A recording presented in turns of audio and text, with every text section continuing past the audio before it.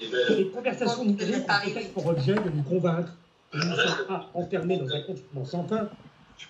Pour moi, c'est une absurdité. Les personnes détentrices de portables au débit qui se déplacent en même temps qu'elles ne répondent pas quand leur téléphone sonne. En ce cas, on est mieux qu'elles concernent leur téléphone fixe, qui ne se déplaçait pas avec elles et qui restait sans réponse quand elles n'étaient pas présentes.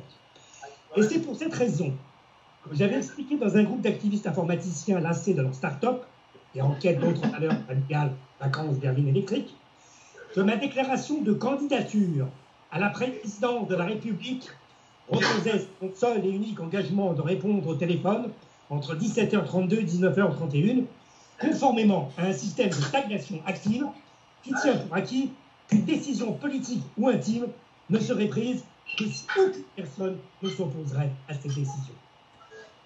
Il est clair que les réunions fondées sur un nouveau rapport démocratique, avec langage des signes, bâton de parole, cercle de parole, remise en cause de la tribune, sont destinées à atténuer la culpabilisation engendrée par une répression sexuelle.